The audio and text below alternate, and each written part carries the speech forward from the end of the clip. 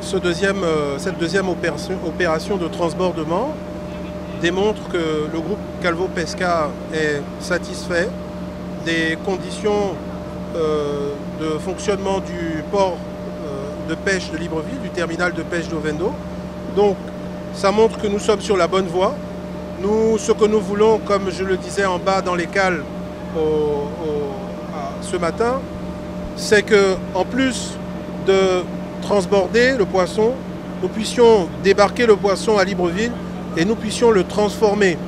Et que cette opération fasse en sorte que le port de pêche de Libreville ait une bonne renommée et qu'il attire beaucoup de navires de pêche, bien sûr dans le respect du principe de la gestion durable de nos écosystèmes, d'une pêche durable, c'est-à-dire qui tient compte du fait qu'il ne faut pas pêcher les trop petits poissons pour leur laisser le temps de se développer.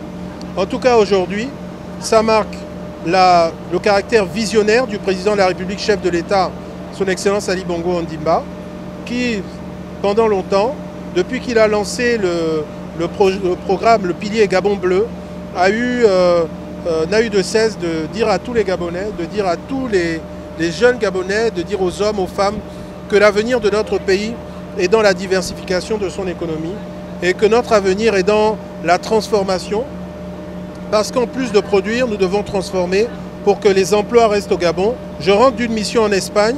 Ce qu'il faut dire, c'est que le groupe Calvo Pesca est un groupe important, qui est au niveau, si on prend le niveau international, ça fait, il est à peu près le cinquième euh, tonnier dans le, dans le monde.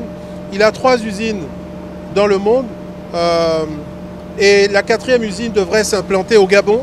C'est une grande chance pour nous parce que le Gabon doit devenir un hub important en matière de pêche en, Afrique.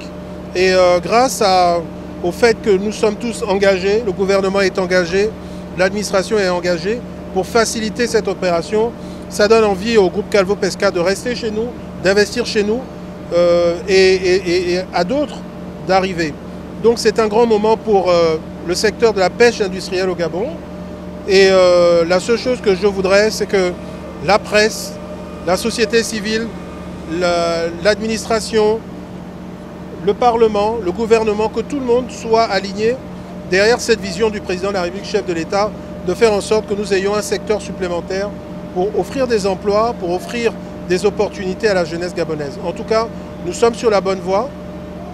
Le groupe Calvo Pesca nous montre qu'il croit en nous et nous croyons aussi en lui. Et nous pensons que nous allons aller en- encore plus loin dans, dans- là-dedans. Pour les jeunes Gabonais, c'est vrai que c'est un début. Pour l'instant, c'est pas facile d'avoir le savoir-faire, d'être à l'aise sur un bateau.